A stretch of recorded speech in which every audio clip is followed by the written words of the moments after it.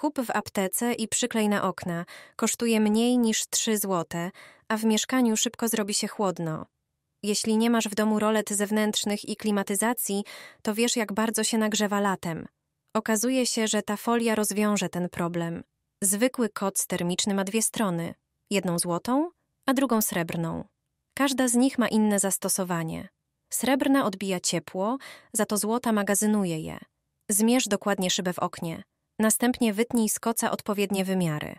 Namocz okno zwykłą wodą i przyklej na nią koc. Za pomocą szmatki wyprowadź pęcherzyki powietrza spod folii. Srebrną stronę koca przyklej na zewnątrz. Złota strona powinna być zwrócona do środka pomieszczenia. Dzięki temu będzie odbijać promienie słoneczne. Już po paru minutach będzie odczuwalna różnica. Przyklej je na okna od południowej strony. To właśnie przez nie do mieszkania przedostaje się najwięcej ciepła. Ten patent wykorzystuje w swoim domu od lat.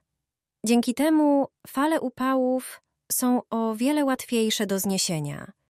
Zroluj i zamocuj na oknie. W mieszkaniu od razu będzie chłodniej. I to bez klimatyzacji i rolet zewnętrznych. Na samym początku uszykuj sobie rolkę folii termoizolacyjnej. Narysuj linię na długości rolety, którą chcesz otrzymać. Według niej przetnij folię.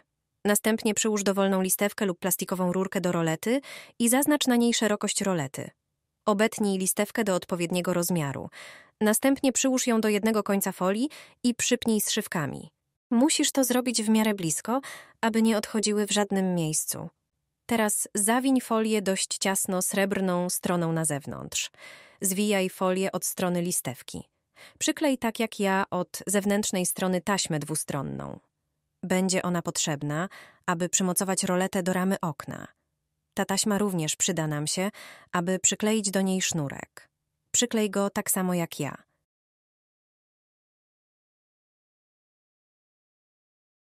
Teraz przyklej roletę do ramy okna.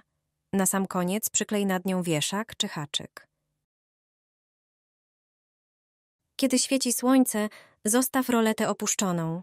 Kiedy nie ma upałów, możesz bez problemu zwinąć roletę i zaczepić o haczyk. Wszystko mamy już gotowe. Wystarczą dwie rzeczy, by zrobić domowy klimatyzator. Jestem pewna, że jeszcze nie słyszałeś o takim sposobie na domową klimatyzację. Jest ona zdecydowanie tańsza, a daje magiczne efekty. Stworzysz ją w niecałe 15 minut. Uszykuj sobie dwie butelki. Obetnij ich dół, mniej więcej na tej samej wysokości co ja. Następnie zrób w butelkach dziurki.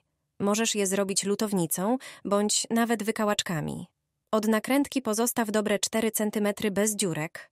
Będzie to miało później znaczenie. Teraz zabierz wiatrak. Musisz e, zdjąć jego pokrywę, aby wygodniej nam się działało. Zabierz cztery trytytki i przymocuj butelki. Będziemy potrzebować po dwie trytytki na jedną butelkę. Zaczep je od ruciki wiatraka i dziurki butelki. Jeśli tak jak mi zostały ci dłuższe plastiki, obetnij je. Możemy już zamknąć wiatrak. Ostatnim naszym krokiem jest wrzucenie lodu do butelek. Kiedy włączysz wentylator, dzięki nim nasz wiatrak będzie dawał efekt klimatyzatora. Jeżeli zaczną ci się już topić kostki lodu, wystarczy, że pod nakrętkę podłożysz szklankę i spuścisz z nich wodę. W każdej chwili możesz dołożyć kolejne kostki lodu.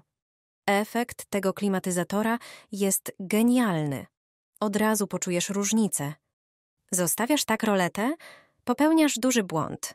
Opuszczona do połowy roleta zewnętrzna latem może być naprawdę niebezpieczna. Większość osób nie ma o tym pojęcia. Firmy produkujące i montujące okna z roletami o tym nie informują. W słonecznych miesiącach roletę trzeba używać w odpowiedni sposób. Ważne, aby roleta była całkowicie odsłonięta albo spuszczona do końca. Przez takie ustawienie rolety jak teraz, czyli do połowy, możesz mieć latem szybę do wymiany. Dlaczego? Kiedy słońce świeci bezpośrednio na okno, pomiędzy górną a dolną częścią szyby jest ogromna różnica temperatur. I to niestety powoduje problemy. Szyba przez to może się uszkodzić i pęknąć. To zwykła fizyka. Niestety te pęknięcia nie podlegają żadnym gwarancjom. I nikt nie zwróci ci kosztów wymiany szyby na skutek spuszczonej do połowy rolety. A więc nie popełniaj więcej tego błędu i używaj rolety latem prawidłowo. Nie kupuję już rolet i żaluzji. Robię je sama w 5 minut. Kosztują grosze. Wystarczy rolka tapety. Odmierz 210 cm z każdej krawędzi rolki. Taką długość wykorzystam do okna o wysokości 1 metra. Narysuj linię i w tym miejscu odetnij tapetę nożyczkami. Odmierz 3 cm przy krawędziach jednego końca. Narysuj linię i wzdłuż niej złóż tapetę. Odmierz kolejne 3 cm i złóż tapetę w drugą stronę. Tak jak robię to ja na filmie. W ten sposób składaj kolejne kawałki tapety. Będzie powstawać harmonijka. Kiedy cały kawałek tapety będzie złożony, będziesz miał tak plisowaną rolkę. Połóż ją poziomo na blacie. Odmierz linijką 10 cm po stronie każdego końca. Następnie weź wiertarkę i wywierć otwór. Użyj cienkiego wiertła. Przez otwór przełóż sznurek. Na jednym końcu zamontuj zacisk do sznurka. Zwiąż pętelkę, żeby sznurek się nie wysunął. Na drugim końcu tapety końcówkę sznurka przyklej do tapety taśmą klejącą. Zrób to po stronie bez wzoru. Czynności powtórz z drugim otworem. Weź taśmę dwustronną i przyklej do krawędzi tapety, gdzie jest przymocowana końcówka sznurka. Zdejmij taśmę zabezpieczającą i przyklej roletę do górnej ramy okna. I gotowe. Kilka minut wystarczyło, aby zrobić piękną żaluzję plisowaną. Możesz regulować ją za pomocą stopera na sznurku. Pięknie zdobi okno. Osłania przed światłem i spojrzeniami sąsiadów. Taka roleta jest obłędna i unikatowa. Potrzyj wiatrak zwykłą kostką mydła. W ten sposób wyczyścisz go bez demontowania osłony. Kurz i zanieczyszczenia mogą gromadzić się w wiatraku, zmniejszając przy tym skuteczność wentylatora i potencjalnie cyrkulując alergeny w pomieszczeniu. Zacznij od nalania ciepłej wody do miski. Wyciśnij łyżkę pasty do zębów.